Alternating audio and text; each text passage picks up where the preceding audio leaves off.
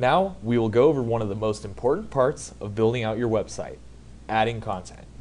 You will need to click the Add button in the upper left-hand corner of the builder. Now you will see a large selection of different elements to add. They are broken up into different categories for easy navigation. You can search for what you want to add in this box.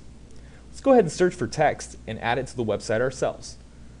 You can do this by simply clicking the element and placing it where you'd like. Some elements, such as adding an image, will have additional options before you can place it. From here, you can either select one of our photos or upload one of your own.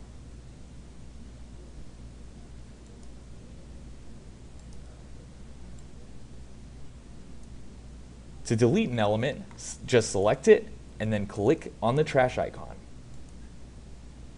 You are also able to resize elements as well. To do this, just click on one of these boxes and drag it out. It's really that easy.